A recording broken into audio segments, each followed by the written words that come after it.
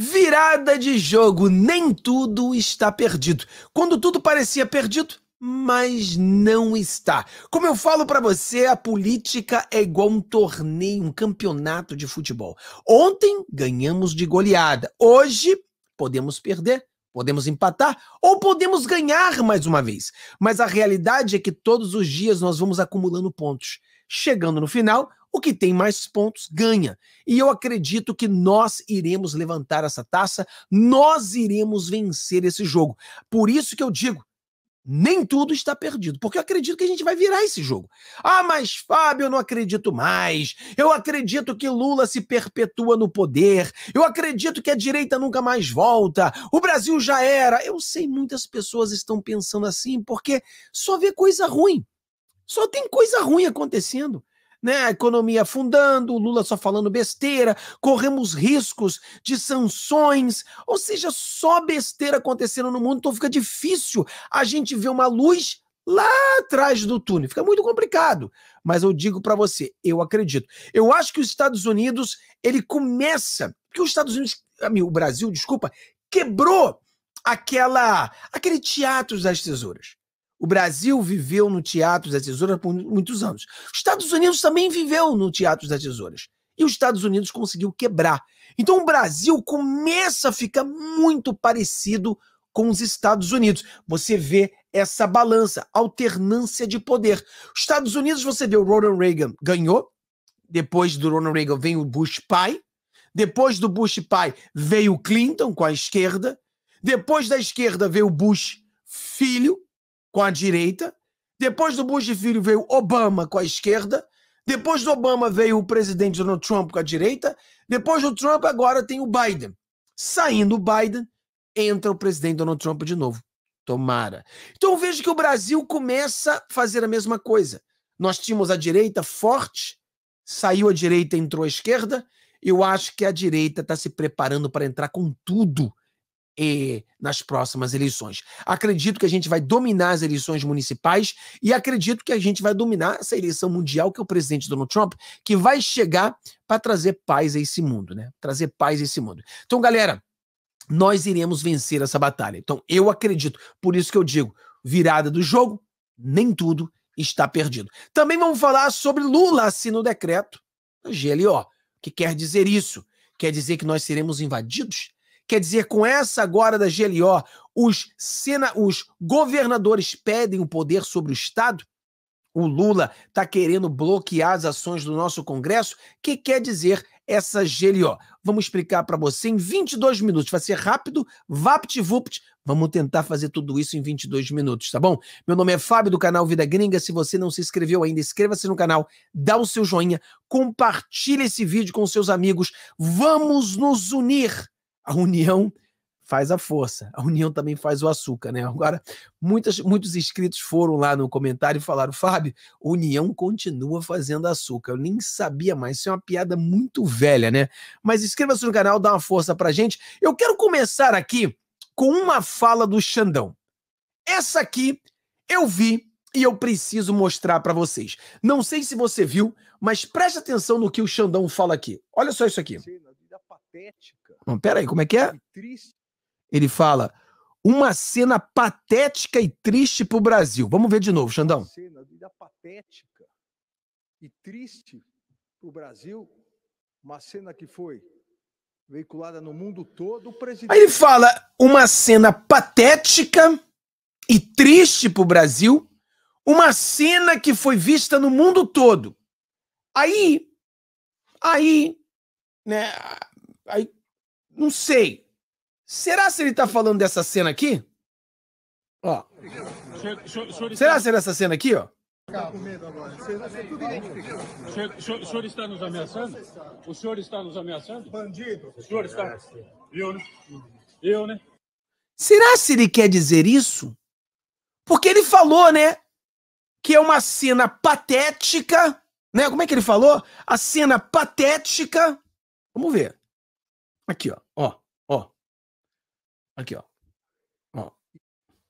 Uma cena patética e triste para o Brasil. O Brasil, uma cena que foi vinculada no mundo todo. Rapaz, essa cena aqui ela é patética, entristece o Brasil e ela foi vinculada no mundo todo. Essa aqui é na Itália. Na Itália. Internacionalmente. Deve estar se referindo a isso, acredito. Porque realmente isso foi uma cena patética, entristeceu o Brasil e foi vista pelo mundo todo. Envergonhou geral. Só que não.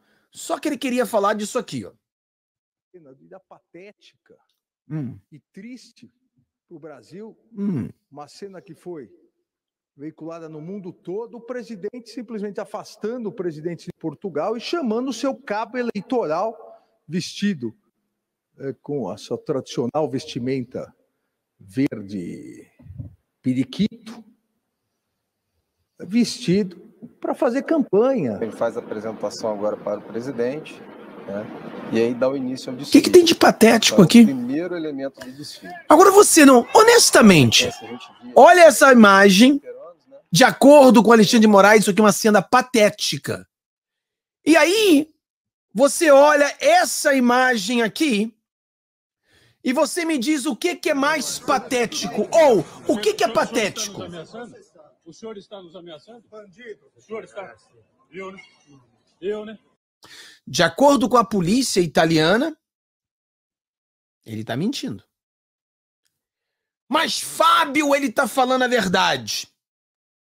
De acordo com a polícia italiana, diz que está mentindo. Então, cada um tem que tomar a sua decisão, né? Mas, na minha opinião, tirando toda a emoção, aquela imagem do Alexandre de Moraes é muito mais patética do que a outra imagem do presidente simplesmente ali no dia 7. Mas essa é a minha opinião. O que, que você acha? Qual das duas imagens foi mais patética? Ou qual imagem realmente foi patética? Porque, na verdade, eu só vi uma imagem que foi patética. Olha só isso aqui. O peixe morre pela boca. Olha só isso aqui. E Haddad, que não é um economista, eu já entrevistei vários ministros da economia ou da fazenda, dependendo. Como é que é? Não, não. Nome, não é possível. Não é possível. Esse esquerdista não falou isso. Eu não ouvi direito. Não. Não. Não, não. Não pode ser verdade. Não. Eu entendi errado. Vou, vou botar de novo. Vamos lá. Pera. Ele não é o quê? E Haddad, que não é um economista, eu já entrevistei vários ministros da economia ou da fazenda, dependendo do governo, muda-se o nome, mas gerentes da política econômica e financeira do Brasil, que são reféns de uma ortodoxia. Eles estão de olho em PIB, dólar, juros, importação, exportação, o que eles aprenderam nas então, escolas de economia. Então, ele não é economista?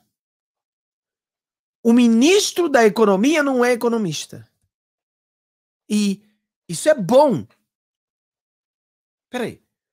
O, o, o ministro da Economia não é economista e isso é bom.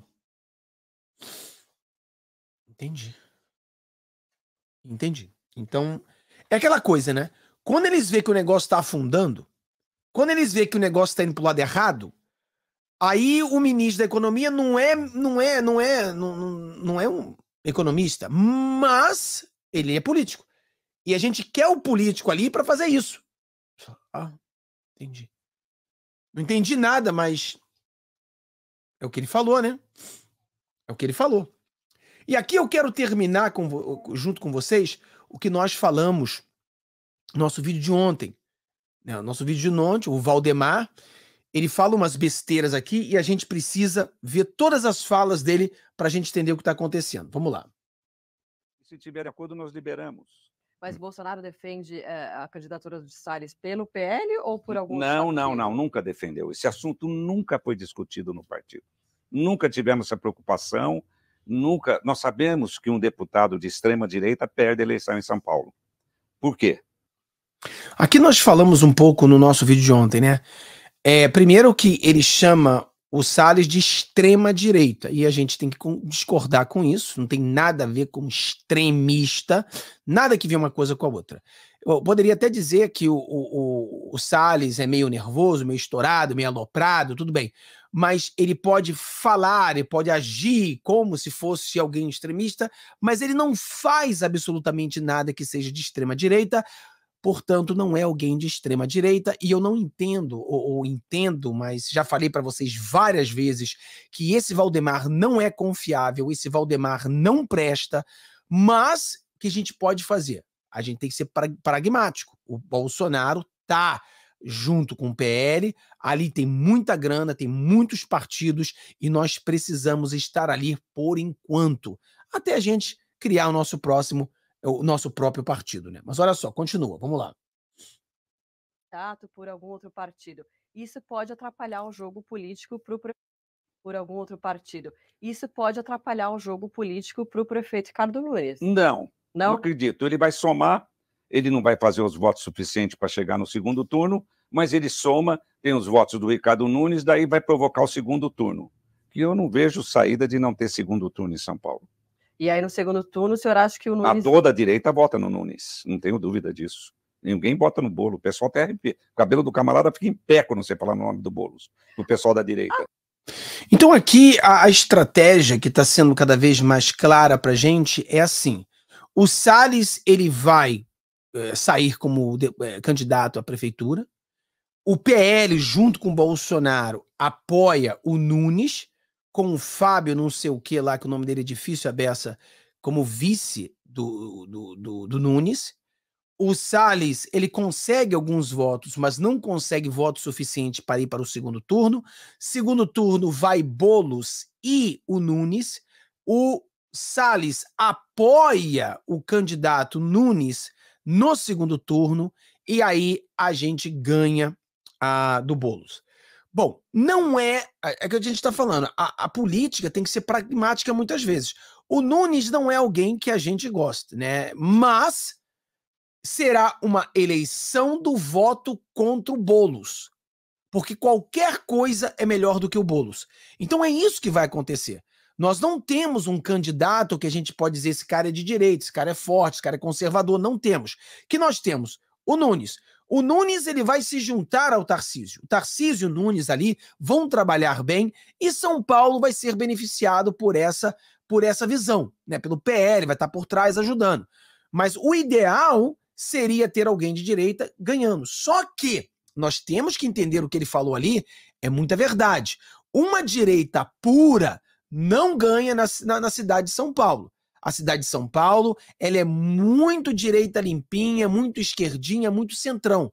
Então é difícil para uma direita pura ganhar em São Paulo. O próprio presidente Bolsonaro falou isso e a gente tem que entender. Então tudo indica, ninguém está dizendo que isso aqui é o que vai acontecer, tá, pessoal? O que nós estamos dizendo, tudo indica que isso aqui é a visão do que está acontecendo, tá bom? Tudo indica. Vamos botar aqui, tem mais um aqui, vamos lá. Agora, tem vários eh, parlamentares que votam com o governo. Ah, em assuntos de, de, de, de, de imposto, essas coisas, não em pautas conservadoras. Na pauta conservadora, todos os, todos os deputados e os senadores do PL estão unidos nas pautas conservadoras. Agora, quando se trata de recursos, essas coisas, tem uns que têm interesse em votar com o governo, com o governador dele, para poder levar recursos para os seus municípios. Então ele fala aqui umas coisas interessantes, né? Que o próprio PL, ele votou, se eu não me engano, 80 e poucos por cento contra o Lula. Então você teve ali uma porcentagem, eu acho que era 88%, se eu não me engano, a gente vai ver aqui. Mas uns 10, 12% a favor do Lula. Então as pessoas falam, então o Fábio Pérez está a favor do Lula? Não necessariamente. Existem coisas que são pró-governo que também são o que a gente acredita, tá bom? Então, por exemplo, o Lula, como sempre expliquei para você, até um relógio quebrado acerta duas vezes. Então o Lula vai acertar às vezes. E quando ele acerta, a direita vai votar junto com ele. Entendeu? Então são coisas que tem que ser uma, uma visão pragmática. Então, votar a favor do Lula em coisas que são pautas importantes para a população brasileira, não tem nada de errado.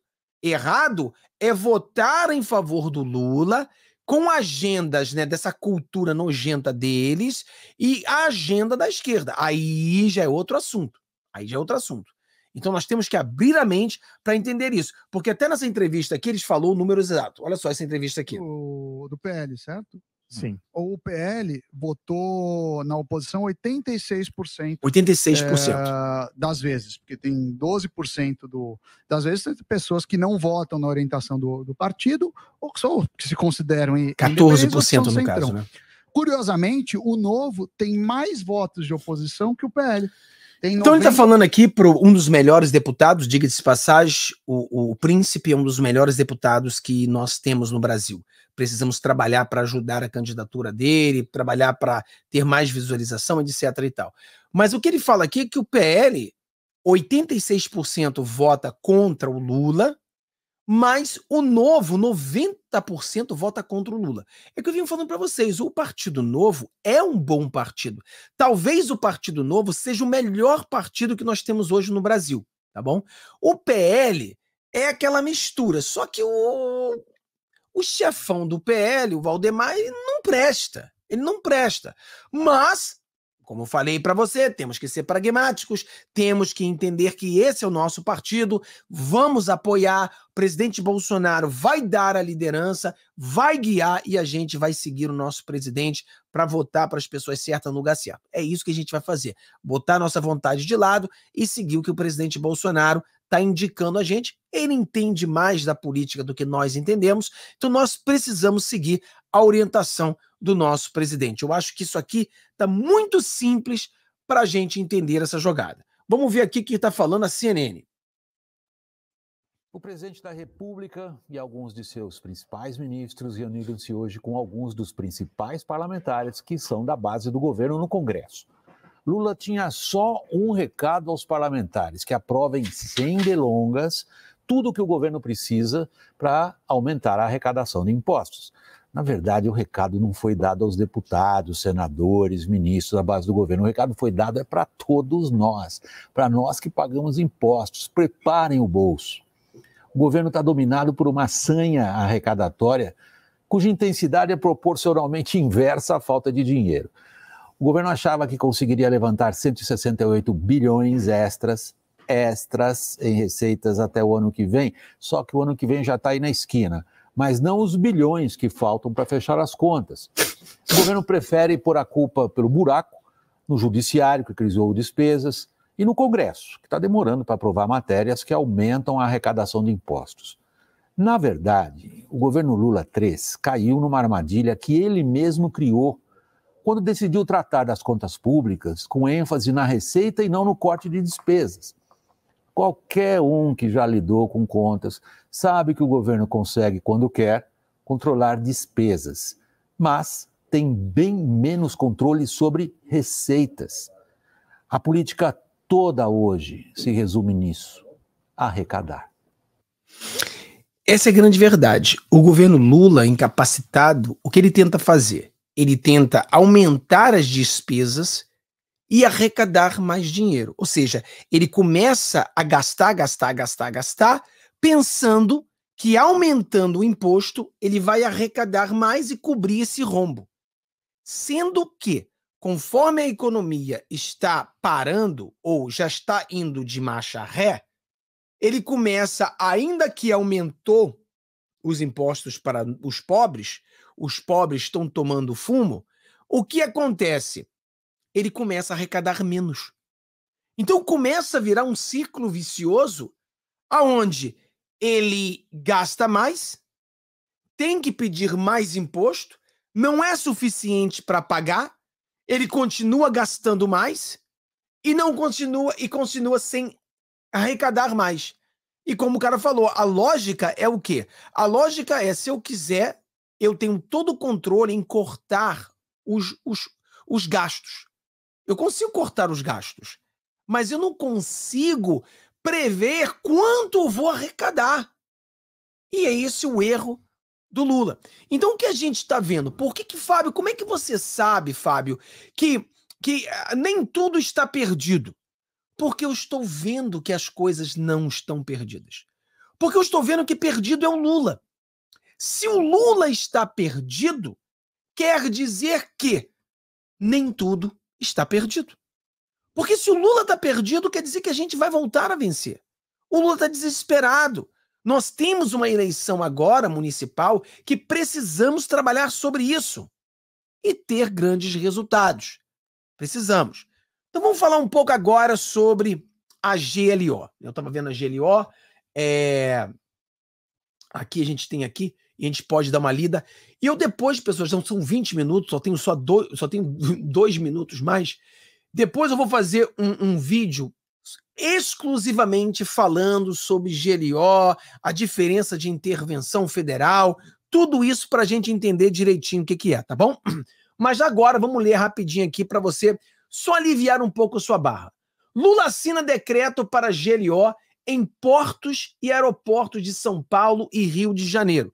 Então, já entendendo que é uma GLO para portos e aeroportos. Lembrando a você que, diferente de uma intervenção militar, não precisa do Congresso. O Lula decreta simplesmente. Na verdade, GLO é algo muito comum e muito corriqueiro, tá? As pessoas não entendem isso, mas é. Segundo o presidente, o emprego de militares das Forças Armadas nos portos do Rio de Janeiro, Itaguaí e Santos e nos aeroportos de Guarulhos e Galeão vai até maio de 2024.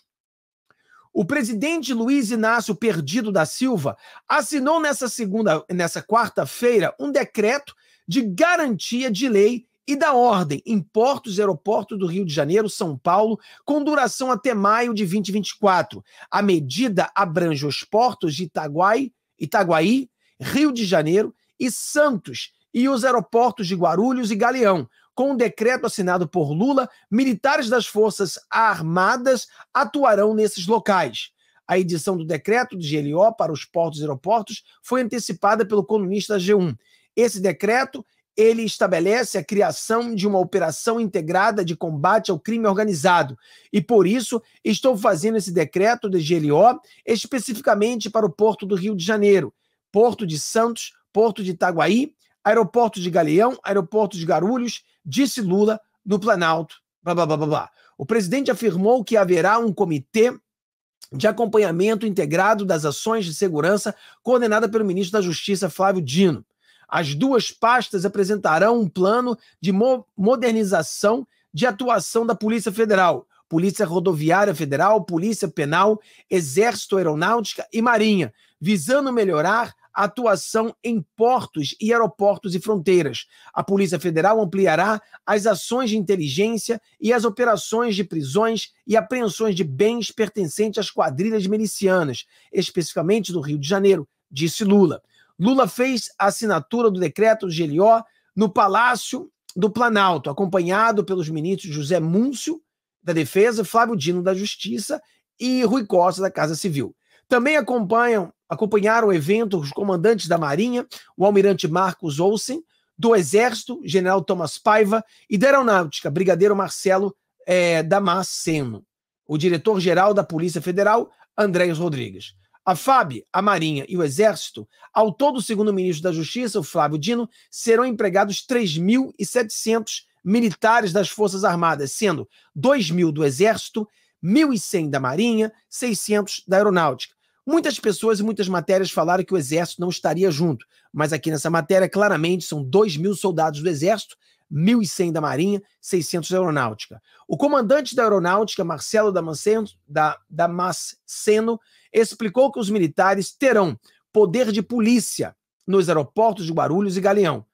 Então, eles terão poder de polícia, né? Quando você tem a, o GLO, então, ali no caso, os policiais terão poder de polícia. Né, é, não vamos substituir os policiais estadual, diz Dino. Após a, a, o anúncio do Lula, os ministros envolvidos nas ações con, con, é, concederam a entrevista. Flávio Dino explicou que Lula optou pelas é, GLO nos portos e aeroportos porque o governo considerou a melhor maneira de realizar um trabalho integrado.